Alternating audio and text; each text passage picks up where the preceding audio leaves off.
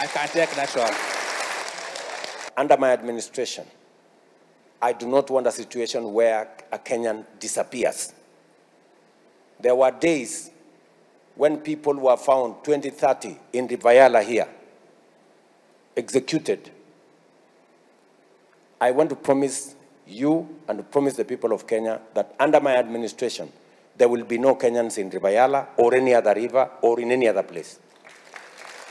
If, my good friend Sospeter, and I am here, if there is a family, any family, that their child or their friend or their relative went to a demonstration, whether it is last year or this year, and never came back, I want to know the names because I will take firm and decisive action.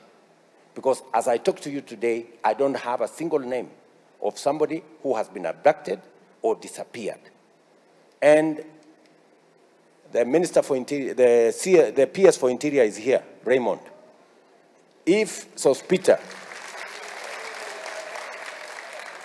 kama huko na jina, mtu alienda maandamano, akapotea, hajulikani mahali yuko, tunataka jina yake, familia yake wakuje, patia huyu mungwana hiyo majina, we will deal with that situation.